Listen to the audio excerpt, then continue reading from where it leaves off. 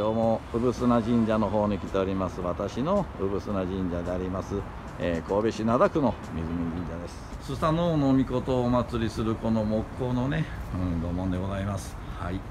そしてこの拝殿の中ですね。ちょっと失礼いたします。先ほどねご挨拶をさせていただいておりますけどもこのように鏡があります。ね神社の中の鏡。この鏡に自分自身を映してそして自らの我を取るそして自らの神神聖に気づいていく元の我。自分自身に戻っていく場所。これが神社でもあります。神社のことをお宮さんとも言うようにね、うんまあ、自分ここで、えー、みそがれて自分自身をみそぎ払いそして結び起こしそして自分自身の本来の姿になる。で新たなお力をいただいたり、えー、浄化をしていただいてですね新たな自分自身になって生まれ変わりまた参道を通って、えー、この世に帰っていくというそのような仕組みでもあります。このように鏡この、えー、場所ですね。こちらの方でちょっとお参りをさせていただきたいと思います。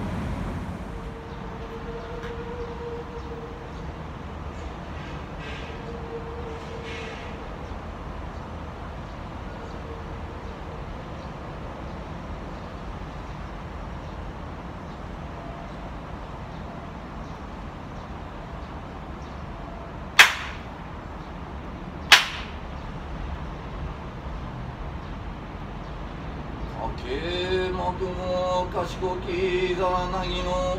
狼つくしのひむかの立花のおどの淡ぎ腹に。急ぎ払えたないし時に荒れませる払えどの狼たち。もろもろの孫と罪汚れあらんぼば。洗いたまえ清めたまえと魔をすことのよしを。八百万ずの神たち者ともに気候しめせとかしこみかしこみも申す。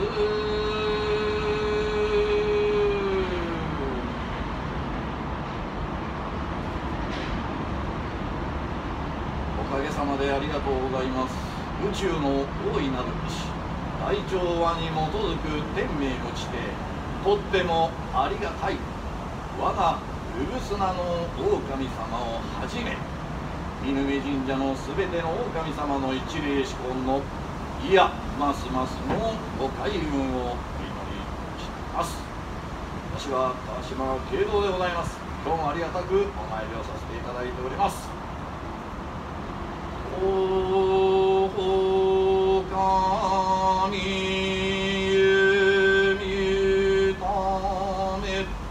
日のえ日のと日のえ日のと土のえ土のとかのえかのと水のえ水のと腹ひたまひ清め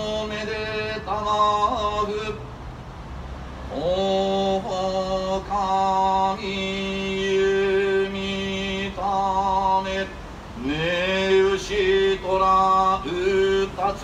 み馬羊猿鳥犬い腹ひたまひ清めでたまふとほかみゆみため剣道理心尊官軍根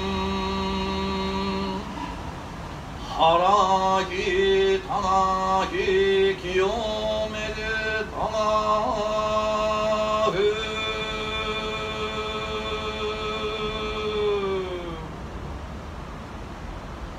りがとうございます。ここまで。これからますます精進しお幸せを導いていますどうぞよろしくします。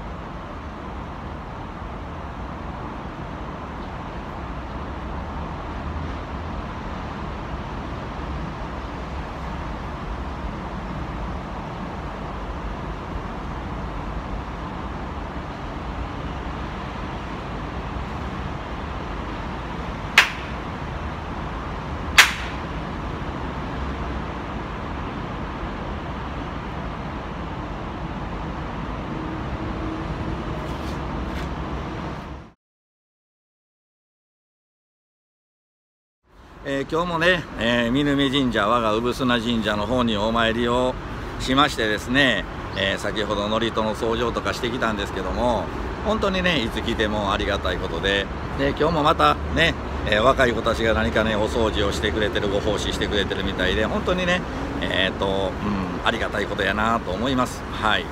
そして今うん、僕たちが、ね、この世の中こうコロナそして、えー、ね、安倍さんの辞任とかいろいろありますけども、ね、でワクチンをなんかね、強制的にみたいなことも言ってる人もいますけどもその外の世界にいろいろとらわれて、うん、不安恐怖をね、うん、の支配エネルギー支配されていくんではなくってやはり本当の自分自身がこれからどう生きていきたいのか。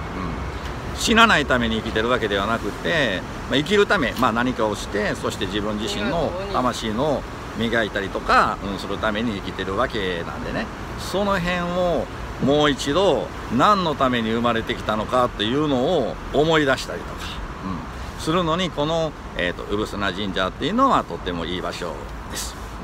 あの世に行ってからもね、えー、産神出てきますからね、えー、この人生どうやったっていうふうにね、うん、聞いて、えー、そして幸せやったか人の役に立てたかというふうにね、え聞いてきますのでその時にああしまった忘れてたということないように、え自分自身の本来の姿そして、え自分が何のために生きてるのかっていうのを思い出していく。その必要がありますのでちょうど今そんな時にねこの自分自身の、えー、魂のふるさとであるこの産砂神社とかに、えー、お参りをして、うん、そして、えー、本来の自分のエネルギーに戻る神なる我に帰る、ね、この中にもさっきもねありましたように鏡がありますのでその鏡に自分自身を映して、うん、自分の我を取って本来の神なる我にね、えー、帰っていく、えー、そういう場でもあります。はい、なので自分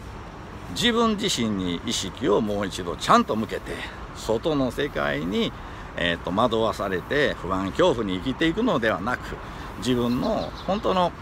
えー、魂に従ってね生きていけるようなそういった人が、えー、増えたら、うん、すごく世の中変わっていくと思います。はい、なので、えー、ね、自分のことを思い出す意味でねこういう神社、え鎮守の森っていうのは非常に大切なね、え場所になります。はいね、えー、本当にたくさんの人がね今日もお掃除ねしてくれてありがたいなと思います。はい。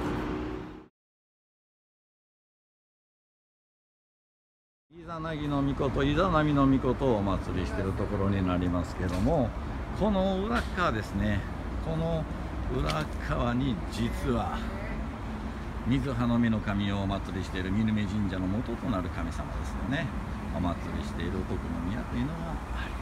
ちらもね隠れ紙としてね隠れております。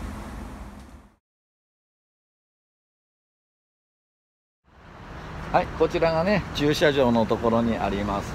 えーと、井戸の神様です。本当にね、えー、すごく綺麗な水が湧いてたのが、まあ、阪神・淡路大震災の時からね、えー、その、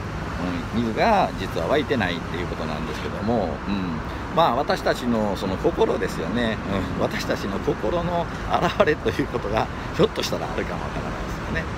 うん、この物質、えー、ねえー、求める物質にとらわれてしまうこの,、ね、その私たちの、うん、心がこの、えーとねえー、水が出なくなっちゃったということとリンクしてるのかもしれないですけどもね、はい。まあ、なので僕たちがしっかり、えーとその阪神・淡路大震災の、ね、経験をもとにですねうん、で、まあえーと、いかに生きていくか、ね、あの時で僕も命拾いしたわけなんですね、はい、なのでそのあの時死んだつもりで、うん、今を生きるっていうことね、うん。まあ、そういう気づきを与えていただいたと本当に思いますので、うん、こちらの神様もね何かそういう意味があって、うんまあ、この水がね今途絶えてるのかなとは思うんですけども、はいまあ、あの今日もねこちらお祈りして帰りたいと思います。はい、ありがとうございます。